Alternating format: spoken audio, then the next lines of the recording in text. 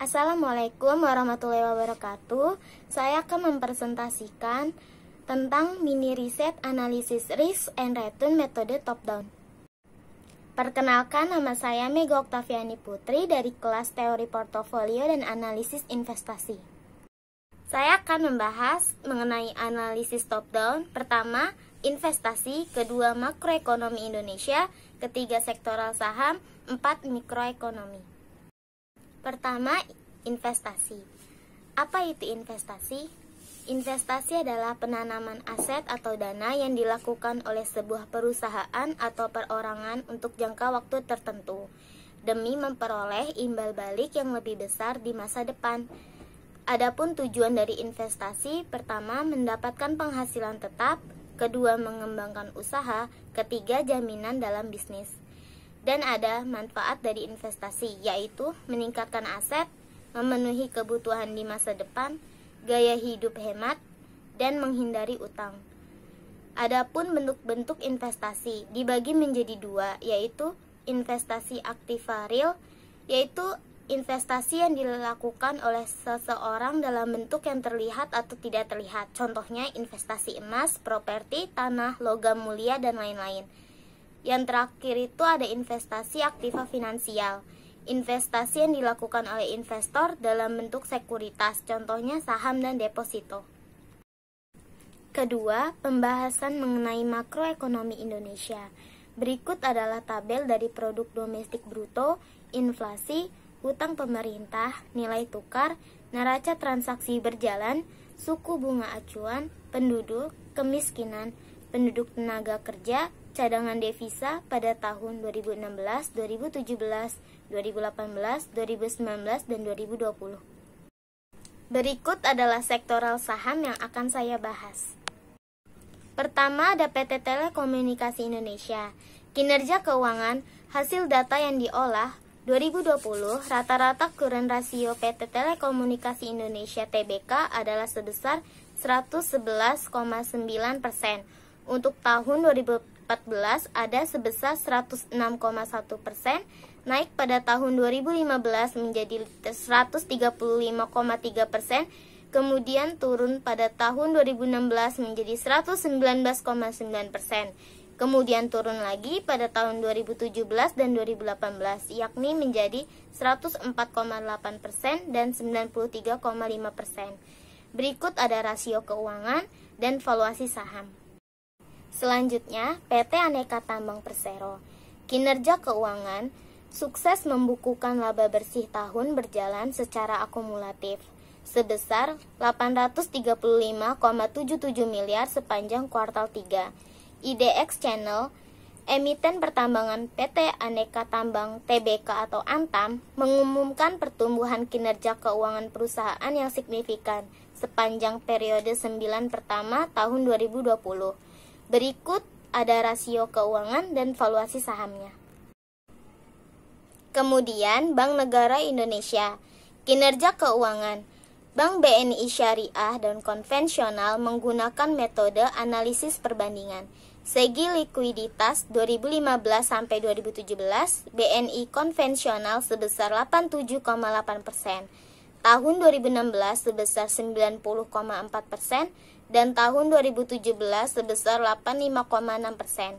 Sedangkan BNI Syariah sebesar 91,94 persen, tahun 2016 sebesar 84,57 persen, dan tahun 2017 sebesar 80,13 persen.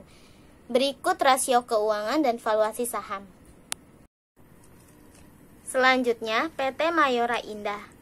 Kinerja keuangan.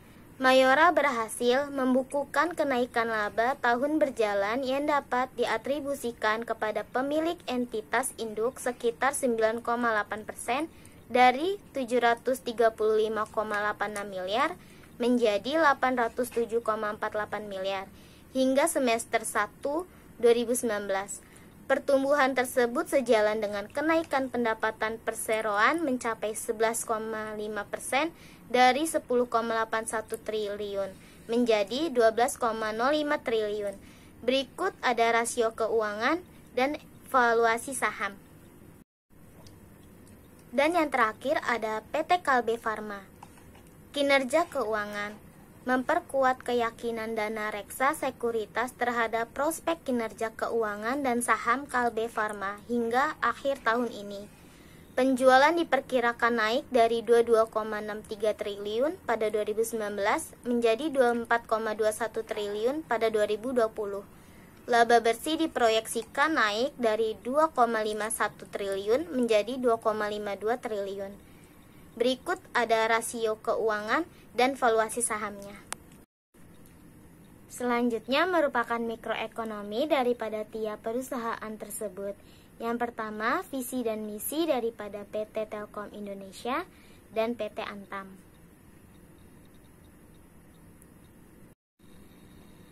Selanjutnya, ada visi dan misi daripada Bank Negara Indonesia dan PT Mayora Indah. Dan yang terakhir, ada visi dan misi dari PT Kalbe Farma. Berikut merupakan tabel laporan laba rugi PT Telkom Indonesia. Dapat saya jelaskan, margin kotor Telkom Indonesia sebesar 68,63 persen, margin operasional sebesar 31,34 persen, margin laba bersih sebesar 20,58 persen, dan ROI sebesar 18,36 persen. Sedangkan tabel di bawahnya merupakan laporan laba rugi pada periode akhir tahun 2016, 2017, 2018, dan 2019. Selanjutnya merupakan tabel neraca keuangan PT Telkom Indonesia. Dapat saya jelaskan, rasio cepat sebesar 0,62 rasio lancar 0,64, utang jangka panjang atau ekuitas 40,38 persen, total utang atau ekuitas sebesar 68,42 persen. Sedangkan tabel di bawahnya merupakan neraca keuangan pada periode akhir tahun 2016, 2017, 2018, dan 2019. Berikut merupakan tabel dari arus kas PT Telkom Indonesia. Dapat saya jelaskan, arus kas atau saham sebesar 549,94, pendapatan atau saham sebesar 1341,35, arus kas operasional sebesar 94,14 persen. Sedangkan tabel di bawahnya merupakan arus kas pada periode akhir tahun 2016, 2017, 2018, dan 2019. Berikut merupakan tabel laporan laba rugi PT Antam. Dapat saya jelaskan, margin kotor sebesar 13,79%, margin operasional sebesar 4,59%, margin laba bersih sebesar 1,79%, ROI sebesar 1,75%. Sedangkan tabel di bawahnya merupakan laporan laba rugi pada periode akhir tahun 2016, 2017, 2018, dan 2019. Berikut merupakan tabel laporan neraca keuangan PT Antam. Dapat saya jelaskan, rasio cepat sebesar 1,28, rasio lancar 1,94, utang jangka panjang atau ekuitas 33,26 persen, total utang atau ekuitas sebesar 44,63 persen. Sedangkan tabel di bawahnya merupakan laporan neraca keuangan pada periode akhir tahun 2016, 2017, 2018, dan 2019.